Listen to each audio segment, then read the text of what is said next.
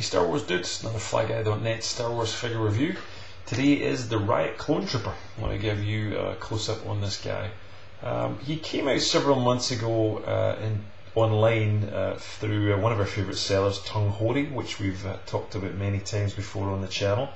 Um, but it didn't come with the Riot Shield, uh, so managed to uh, just avoid this figure for a little while. And however, managed to pick one up just recently and. Um, you, uh, or certainly I managed to pick this up online for around about $8 shipped, which is very reasonable considering uh, some of these are not even out in the UK or Australia where I am yet, and we're unlikely to see them in a hurry, so um, not bad value. Uh, certainly, uh, all the kind of usual retailers, Big Bad Toy Store, Brian's Toys, and many others have these uh, for pre order, so you can still get them if you're looking for them. And look, in some ways, a, a, very basic clone. There's not a great deal that you've never seen on any clone before. It's all standard articulation. But let's go through the individual items and uh, get a look at the figure itself and what it's got to offer. So one of the first things uh, is the standard blaster that comes with the figure. And if you again, if you've never watched our uh, reviews, you can take this up to any level of high def that you want to. 720p, 1080, whatever. Just use the controls on YouTube. And you can see, for example, this little uh, DC-15 blaster. I think it is DC-15, DC-7, I can't remember. But uh, one of these standard Clone Wars blasters you get is in the pack. I managed to get this one loose so there is no card or any other bits and pieces. And here is the uh, actual shield itself. It comes in two parts.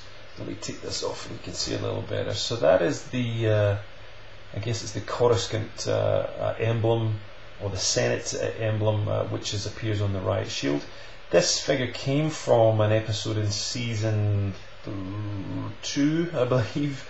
It was the Duchess of Mandalore, and she appears on Coruscant, and uh, we get to see these Riot clone troopers very briefly. But uh, a nice, pretty different piece uh, or shield. Looks like something I'm, i think we've seen in the past on um, a G.I. Joe figure, but it certainly looks unique as far as I can tell. And you can see by the angle on the camera there's a kind of a, almost like brown or dark red plastic pieces as part of the shield, and that takes and accommodates this part here, which is a kind of brown um, plastic piece which goes onto the back. And you can see there's a small uh, clip there as well, and that allows you to put the Riot Clone Trooper's baton or baton into the uh, holster uh, there as well, which allows you to put it all together if you wanted to. So let me just clip this on, and as you'll see, this just clips into those holes which are on the uh, piece again. Let me just put that in for you. And it holds on pretty well, and that allows the clone trooper's uh, hand to go through and hold on to the second peg, or even just to hold on to one of them. It doesn't make any difference. And um, there you go. You've got your uh, your clone riot shield. You can also wedge in a blaster in there. You could, um, uh, as I've kind of done earlier on, and I probably won't be able to do it now. it doesn't work. Anyway, you can. If you uh, work a little hard, you can uh, put the blaster that comes with the clone in there if you want to keep the baton in his hand. But that is the shield. Uh, the clone itself comes with uh, this baton or baton. The hell is the right pronunciation? I don't know. But there you go. Uh, some detail at the end just coming up on the camera. Uh, you can see at the end some kind of chrome dimples and some black paint around the top and a grip at the bottom which is again just got some kind of handle grips. Nice bits of detail but you can just see there which would be useful if the clone had actual fingers that you could uh, use but it doesn't. But look, it looks the part. A decent uh, uh extra with the figure and onto the figure itself. So here we go. Look, standard clone elements I've seen before. This is not, thankfully, a Commander Stone uh, figure, so we're getting decent articulation all over. Let me just zoom in a little closer. Um, nice paintwork on the figure. The uh, again Coruscant emblem on the uh, chest piece there, and I should align that. You can see the articulation there but it's uh, pretty well done.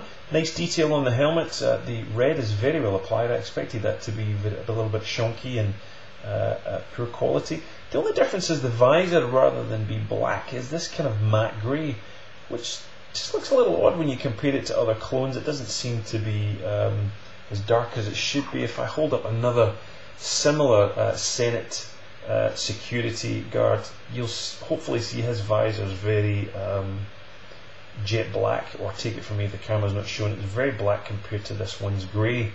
Uh, you can also see the similar kind of Coruscant logos there on the chest.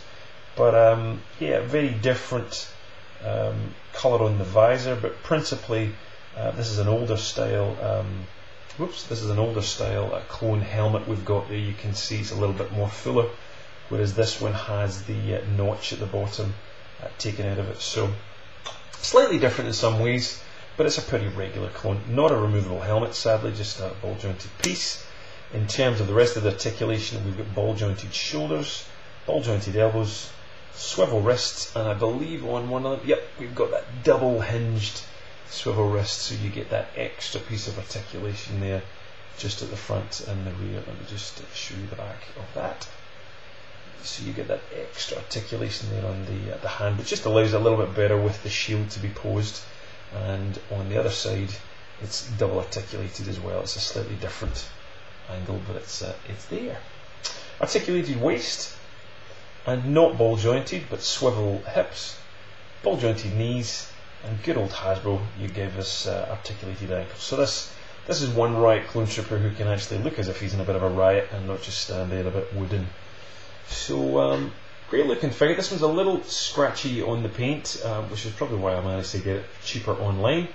But not a problem. You can quickly scrape off some of that extra little bit of red and that dot of black. It's there. It's not a problem.